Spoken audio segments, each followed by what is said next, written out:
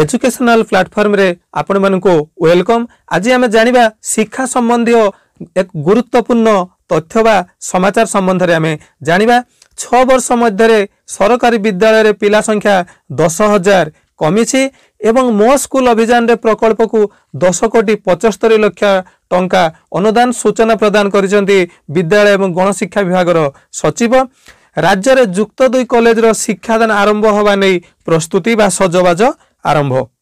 ସରକାରୀ ବିଦ୍ୟାଳୟରେ ଛଅ ବର୍ଷରେ ପିଲା ସଂଖ୍ୟା ଦଶ ହଜାରରୁ ଅଧିକ କମିଛି ତେବେ ଆସନ୍ତୁ କ'ଣ ପାଇଁ ସରକାରୀ ବିଦ୍ୟାଳୟରେ ପିଲା ସଂଖ୍ୟା କମୁଥିବା ବେଳେ ବେସରକାରୀ ବିଦ୍ୟାଳୟରେ ପିଲା ସଂଖ୍ୟା ବଢ଼ୁଛି। ଆସନ୍ତୁ ବିଦ୍ୟାଳୟ ଏବଂ ଗଣଶିକ୍ଷା ବିଭାଗର ଏକ ସର୍ଭେ ରିପୋର୍ଟରୁ ଆମେ ତଥ୍ୟ ଯାହା ମିଳିଛି ସେ ସମ୍ବନ୍ଧରେ ଜାଣିବା। ସରକାରୀ ବିଦ୍ୟାଳୟରୁ ମୁହଁ ଫେରାଉ ନେଉଛନ୍ତି ପିଲା। ଅଭିଭାବକମାନେ ସେମାନଙ୍କ ପିଲାକୁ ଘରୋଇ ସ୍କୁଲକୁ ନେଇଯାଉଥିବାରୁ ପ୍ରତିବର୍ଷ ନାମଲେଖା ହାର ମଧ୍ୟ କମୁଛି। ଫଳରେ ବିଗତ କିଛି ବର୍ଷ ହେବ ପିଲାଙ୍କ ସଂଖ୍ୟା କ୍ରମାଗତ ଭାବରେ ହ୍ରାସ ପାଉଥିବା ବେଳେ ଘରୋଇ ସ୍କୁଲରେ ପିଲାମାନଙ୍କ ସଂଖ୍ୟା ବୃଦ୍ଧି ପାଇବାରେ ଲାଗିଛି। ବିଭାଗୀୟ ତଥ୍ୟକୁ ତର୍ଜମା କଲେ ସରକାରୀ ଶିକ୍ଷା ବ୍ୟବସ୍ଥା ଏକ ପ୍ରକାର ବିଗିଡ଼ିବାରେ ଲାଗିଛି। ଗତ ଛଅ ବର୍ଷ ସରକାରୀ ସ୍କୁଲରୁ ଛାତ୍ରଛାତ୍ରୀମାନଙ୍କ ସଂଖ୍ୟା ଦଶ ହଜାରରୁ ଅଧିକ କମିଯାଇଛି। କିନ୍ତୁ ଏହି ସମୟ ମଧ୍ୟରେ ଘରୋଇ ଏବଂ ଅନ୍ୟାନ୍ୟ ସ୍କୁଲର ଛାତ୍ରଛାତ୍ରୀମାନଙ୍କ ସଂଖ୍ୟା ତିନି ଲକ୍ଷ ବୃଦ୍ଧି ପାଇଛି। ଶିକ୍ଷାର ମାନ ପରିବେଶ ବିଭିନ୍ନ କ୍ଷେତ୍ରରେ ରହିଥିବା ପାର୍ଥକ୍ୟ ଯୋଗୁଁ ସରକାରୀ ସ୍କୁଲରେ ଏହିଭଳି ପରିସ୍ଥିତି ସୃଷ୍ଟି ହେଉଥିବା କୁହାଯାଇଛି ତଥ୍ୟ ସୂଚନା ଅନୁଯାୟୀ ଦୁଇ ହଜାର ଚଉଦ ଏବଂ ପନ୍ଦର ଶିକ୍ଷାବର୍ଷରେ ରାଜ୍ୟର ସରକାରୀ ଓ ସରକାରୀ ଅନୁଦାନ ପ୍ରାପ୍ତ ସ୍କୁଲରେ ମୋଟ ପଞ୍ଚଷଠି ଲକ୍ଷ ତେୟାଳିଶ ହଜାର ନଅଶହ ତେସ୍ତରୀ ଛାତ୍ରଛାତ୍ରୀ ନାମ ଲେଖାଇଥିଲେ କିନ୍ତୁ ଦୁଇ ହଜାର ପନ୍ଦର ଷୋହଳ ମସିହାରେ କମିଯାଇ ତାହା ତେଷଠି ଲକ୍ଷ ଏକାନବେ ହଜାର ଦୁଇଶହ ଅଡ଼ଚାଳିଶରେ ପହଞ୍ଚିଥିଲା। ଏହାପରେ ଦୁଇ ହଜାର ଷୋହଳ ଏବଂ ସତର ଶିକ୍ଷାବର୍ଷରେ ବାଷଠି ଲକ୍ଷ ତିରିଶ ହଜାର ତିନିଶହ ଦଶରେ ପହଞ୍ଚିଥିଲା ଏବଂ ଦୁଇ ହଜାର ସତର ଏବଂ ଅଠର ଶିକ୍ଷାବର୍ଷରେ ଅଣାଷାଠିଏ ଲକ୍ଷ ତେୟାଳିଶ ହଜାର ଚାରିଶହ ଅଡ଼ଚାଳିଶରେ ପହଞ୍ଚିଥିଲା ଏବଂ ଦୁଇ ହଜାର ଅଠର ଏବଂ ଉଣେଇଶ ଶିକ୍ଷାବର୍ଷରେ ସତାବନ ଲକ୍ଷ ବୟାଳିଶ ହଜାର ଛଅଶହ ଅଣପଚାଶରେ ଏବଂ ଦୁଇ ହଜାର ଉଣେଇଶ କୋଡ଼ିଏ ବର୍ଷ କରେଣ୍ଟ କରେଣ୍ଟ ସେସନରେ ଦୁଇ ହଜାର ଉଣେଇଶ ଏବଂ କୋଡ଼ିଏ ଶିକ୍ଷାବର୍ଷରେ ପଞ୍ଚାବନ ଲକ୍ଷ ସଡ଼ଚାଳିଶ ହଜାର ଶହେ ଷୋହଳ ଜଣ ଛାତ୍ରଛାତ୍ରୀ ନାମ ଲେଖାଇଛନ୍ତି।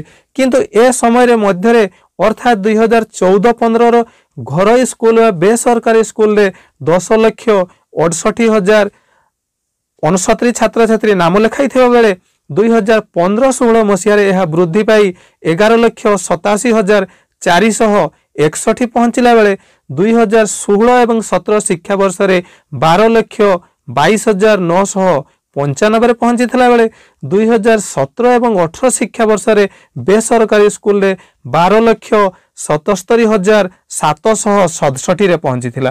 ଠିକ୍ ସେହିପରି ବେସରକାରୀ ସ୍କୁଲରେ ଦୁଇ ହଜାର ଅଠର ଏବଂ ଉଣେଇଶ ଶିକ୍ଷାବର୍ଷରେ ବାର ଲକ୍ଷ ବୟାଅଶୀ ହଜାର ନଅଶହ ଚାଳିଶ ଜଣ ଥିବାବେଳେ ଦୁଇ ହଜାର ଉଣେଇଶ ଏବଂ କୋଡ଼ିଏ ଶିକ୍ଷାବର୍ଷରେ ତାହା ତେର ଲକ୍ଷ ସତୁରି ହଜାର ଦୁଇଶହ ଏକାଅଶୀ ଜଣ ଛାତ୍ରଛାତ୍ରୀ ନାମ ଲେଖାଇଛନ୍ତି। ଅନ୍ୟ ପକ୍ଷରେ ଦେଖିବା ପାଇଁ ଗଲେ ଅନୁସୂଚିତ ଜନଜାତି ଏବଂ ଅନୁସୂଚିତ ଜାତି ପିଲାଙ୍କ ମଧ୍ୟ ହ୍ରାସ ପାଇଛି। ଦୁଇ ହଜାର ଚଉଦ ପନ୍ଦର ଶିକ୍ଷାବର୍ଷରେ একুশ লক্ষ চৌরস্তরি হাজার শহে ছপন জন অনুসূচিত জনজাতি পিলা নাম লেখাই কিন্তু দুই হাজার পনেরো এবং ষোহল শিক্ষাবর্ষের একুশ লক্ষ ছষট্টি হাজার দুইশহ পঞ্চাশ এবং দুই হাজার ষোহল সতেরো শিক্ষাবর্ষের একুশ লক্ষ বয়াশ হাজার দুইশহ তিরিশ জন ঠিক সেইপরি দুই হাজার সতেরো এবং অঠর শিক্ষাবর্ষের কোড়িয়ে লক্ষ অঠাবন হাজার নশ পঞ্চাবন জন এবং ଦୁଇ ହଜାର ଅଠର ଏବଂ ଉଣେଇଶ ଶିକ୍ଷାବର୍ଷରେ କୋଡ଼ିଏ ଲକ୍ଷ ଚାରି ହଜାର ତିନିଶହ ଛୟାଳିଶ ଜଣ ଛାତ୍ରଛାତ୍ରୀ ନାମ ଲେଖାଇଥିବା ବେଳେ ଦୁଇ ହଜାର ଉଣେଇଶ ଏବଂ କୋଡ଼ିଏ ଶିକ୍ଷାବର୍ଷରେ ଉଣେଇଶ ଲକ୍ଷ ଅଠଷଠି ହଜାର ପାଞ୍ଚଶହ ଚଉରାଳିଶକୁ ହ୍ରାସ ପାଇଛି ଠିକ୍ ସେହିପରି ଦୁଇ ହଜାର ଚଉଦ ପନ୍ଦର ଶିକ୍ଷାବର୍ଷରେ ଚଉଦ ଲକ୍ଷ ଅଠାବନ ହଜାର ପାଞ୍ଚଶହ ତେପନ ଅନୁସୂଚିତ ଜାତି ପିଲାଙ୍କ ନାମ ଲେଖାଯାଇଥିଲା। କିନ୍ତୁ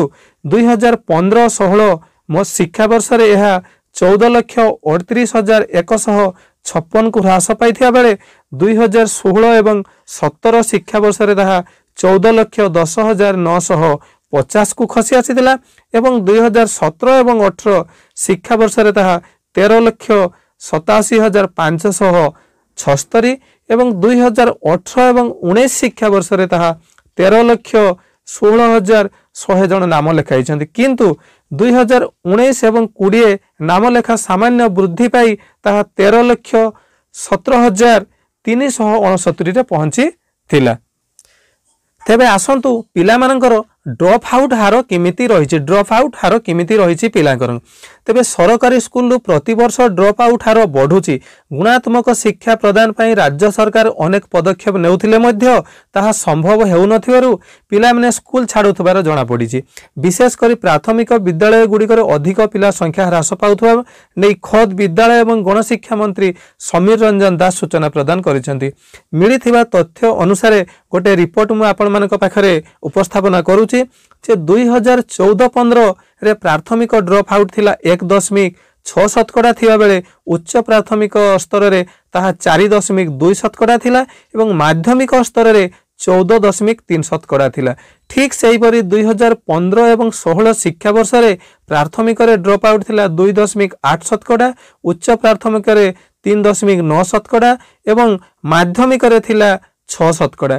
ଠିକ୍ ସେହିଭଳି ଦୁଇ ହଜାର ଷୋହଳ ଏବଂ ସତର ଶିକ୍ଷାବର୍ଷରେ ଡ୍ରପ୍ ଆଉଟ୍ ପ୍ରାଥମିକ ସ୍ତରରେ ଚାରି ଦଶମିକ ଦୁଇ ଶତକଡ଼ା ଉଚ୍ଚ ପ୍ରାଥମିକ ସ୍ତରରେ ପାଞ୍ଚ ଦଶମିକ ଦୁଇ ଶତକଡ଼ା ଏବଂ ମାଧ୍ୟମିକ ସ୍ତରରେ ତାହା ସାତ ଶତକଡ଼ା ଥିଲା ଏବଂ ଦୁଇ ହଜାର ସତର ଅଠର ଶିକ୍ଷାବର୍ଷରେ ସରକାରୀ ବିଦ୍ୟାଳୟର ଡ୍ରପ୍ ଆଉଟ୍ ହାର ମୁଁ କହୁଛି ପ୍ରାଥମିକ ସ୍ତରରେ ଥିଲା ପାଞ୍ଚ ଦଶମିକ ଆଠ ଶତକଡ଼ା ଥିବାବେଳେ ଉଚ୍ଚ ପ୍ରାଥମିକ ସ୍ତରରେ ଥିଲା ପାଞ୍ଚ ଦଶମିକ ପାଞ୍ଚ ଶତକଡ଼ା ଏବଂ ମାଧ୍ୟମିକ ସ୍ତରରେ ତାହା ପହଞ୍ଚିଥିଲା ପାଞ୍ଚ ଦଶମିକ ସାତ ଶତକଡ଼ା ଏବଂ ଦୁଇ ହଜାର ଅଠର ଏବଂ ଉଣେଇଶରେ ସରକାରୀ ବିଦ୍ୟାଳୟରେ ଡ୍ରପ୍ ଆଉଟ୍ ପିଲାଙ୍କର ହାର ସଂଖ୍ୟା ମୁଁ କହୁଛି ପ୍ରାଥମିକ ସ୍ତରରେ ଥିଲା ପାଞ୍ଚ ଦଶମିକ ଚାରି ଶତକଡ଼ା ଉଚ୍ଚ ଉଚ୍ଚ ପ୍ରାଥମିକରେ ଥିଲା ଛଅ ଦଶମିକ ନଅ ଶତକଡ଼ା ଏବଂ ମାଧ୍ୟମିକ ସ୍ତରରେ ଡ୍ରପ୍ ଆଉଟ୍ ହାର ଥିଲା ପାଞ୍ଚ ଦଶମିକ ଚାରି ଶତକଡ଼ା ଏବେ ଯାହା ବି କାରଣ ହେଉ କି ସରକାରଙ୍କ ଯୋଜନା ହେଉ କିମ୍ବା ବିଦ୍ୟାଳୟ ସ୍ତରର କିଛି ତ୍ରୁଟି ଥାଉ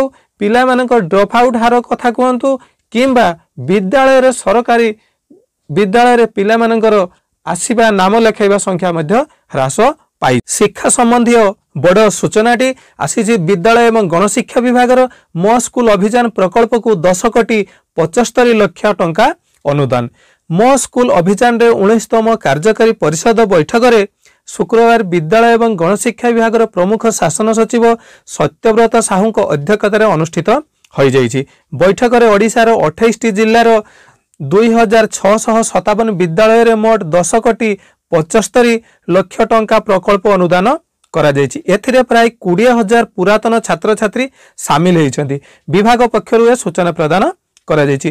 ଗଜପତିରେ ପୁରାତନ ଛାତ୍ରଛାତ୍ରୀମାନେ ସର୍ବାଧିକ তেপন লক্ষ বাস্তরি হাজার দিয়ে বেড়ে সুন্দরগড়ে ছড়িশ হাজার বাস্তরি লক্ষ এবং কলাহাণ্ডি ছতিশ লক্ষ সাত হাজার বালেশ্বরের পঁয়ত্রিশ লক্ষ বয়ানবে হাজার এবং কটকরে একুশ লক্ষ তেয়ানবে হাজার ছাত্রছাত্রী মানে প্রদান করেছেন এ সমস্ত টঙ্কার সম্পৃক্ত স্কুলর বিকাশমূলক কার্যের বিনিযোগ হব তেবে বিভিন্ন প্রকল্পগুড়ির অগ্রগতি তদারক গুরুত্ব দিয়া বৈঠকরে আলোচনা হয়েছিল ମୋ ସ୍କୁଲ ଅଭିଯାନ ପରିଚାଳନା କର୍ତ୍ତୃପକ୍ଷ ଜିଲ୍ଲା ଗୋଷ୍ଠୀ ସ୍ତରୀୟ ତଦାରଖ ବ୍ୟବସ୍ଥାକୁ ଦୃଢ଼ ଭାବେ କାର୍ଯ୍ୟକାରୀ କରିବା ପାଇଁ ପ୍ରମୁଖ ଶାସନ ସଚିବ ସତ୍ୟବ୍ରତ ସାହୁ ନିର୍ଦ୍ଦେଶ ଦେଇଥିଲେ।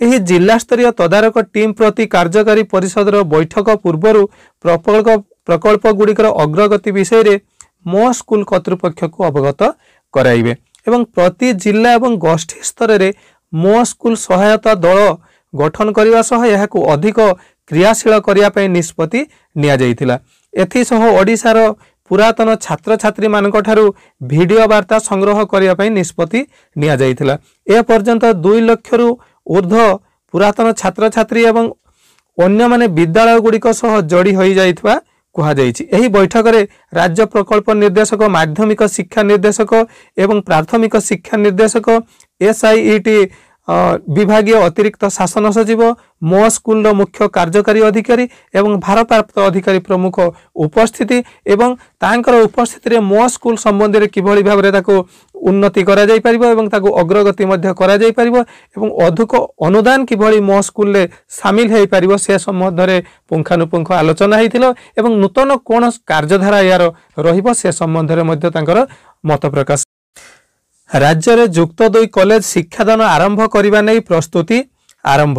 ଶୀଘ୍ର ଖୋଲିବ ଯୁକ୍ତ ଦୁଇ କଲେଜ। ଏଥିପାଇଁ ସଜବାଜ ହେଉଛନ୍ତି ସରକାର ଉଚ୍ଚ ମାଧ୍ୟମିକ ଶିକ୍ଷା ନିର୍ଦ୍ଦେଶାଳୟ ପକ୍ଷରୁ ରାଜ୍ୟର ସମସ୍ତ ଯୁକ୍ତ ଦୁଇ କଲେଜ କ୍ୟାମ୍ପସକୁ ବିଶୋଧନ ଏବଂ ସଫା କରିବାକୁ ସରକାରୀ ଏବଂ ଘରୋଇ କଲେଜ ଅଧ୍ୟକ୍ଷମାନଙ୍କୁ ନିର୍ଦ୍ଦେଶନାମା ଜାରି କରାଯାଇଛି। କଲେଜର ଲ୍ୟାବୋରେଟୋରୀ କ୍ଲାସରୁମ୍ ଶୌଚାଳୟ ପିଇବା ପାଣି ଏବଂ ଅନ୍ୟାନ୍ୟ ଉପକରଣ ପ୍ରସ୍ତୁତି ରଖିବା ସହ ଏସବୁ କୋଭିଡ ପୂର୍ବ ସ୍ଥିତିକୁ ଫେରାଇ ଆଣିବାକୁ ଉଚ୍ଚ ମାଧ୍ୟମିକ ଶିକ୍ଷା ନିର୍ଦ୍ଦେଶାଳୟର ନିର୍ଦ୍ଦେଶକ ଚିଠି ଲେଖିଛନ୍ତି। ପ୍ରସ୍ତୁତି ନେଇ ସପ୍ତାହ ମଧ୍ୟରେ ରିପୋର୍ଟ ଦେବାକୁ ଚିଠିର ନିର୍ଦ୍ଦେଶ ହେଇଛି। କୋଭିଡ ନାଇଣ୍ଟିନ୍ ଯୋଗୁଁ ଗତ ମାର୍ଚ୍ଚରୁ କଲେଜରେ ଶିକ୍ଷାଦାନ ବାଧାପ୍ରାପ୍ତ ହୋଇଛି।